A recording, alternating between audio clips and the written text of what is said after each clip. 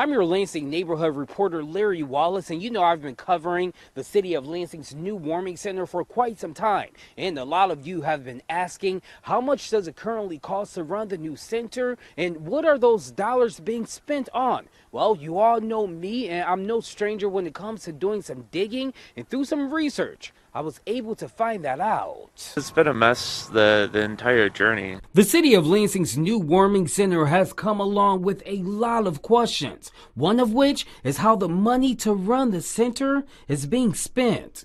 Transparency is a core value of the Detroit Rescue Mission Ministries. Chad Audi is the CEO of the Detroit Rescue Mission Ministries, the organization running the warming center. He says they were given a specific budget to follow through April. 250,000. An amount Audi says adds up fast. He says over $150,000 of that goes towards staffing and paying nine different employees, mostly from the Lansing area.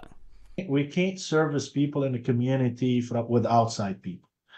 It, it, it, no one knows their own community, whether the people who live in their own community. So therefore, any place that we have worked or any place we are working, you will notice that the staff are from the same community that they're serving.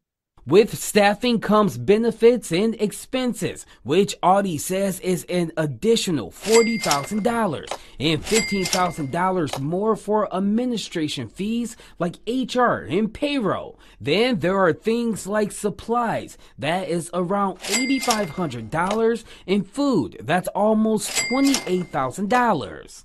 We don't do uh, full meals, but we do give snacks and sometimes we give them sandwiches at night when they come in. Audi says if the center needs additional funding, he's prepared to have the Detroit Rescue Mission pitch in. If there is a shortage in, in, in funding, we know where to get the fund and, and supplement our operations so it would not close and it would not fail.